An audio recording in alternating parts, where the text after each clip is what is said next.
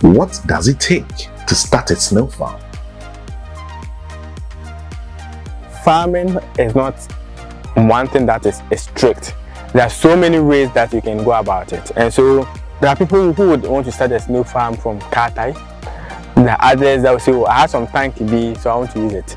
The other that will say that, oh, I, I have some space under um, some corridor that I want to start my farm from there. If you want to start a snail farm, it depends. One, I would say it depends on your location, your, the availability of the land. Is it something that you can use for a long period or it's just for a short while? It depends on what or how or how much you have at hand. That will determine how you want to start your snail farm.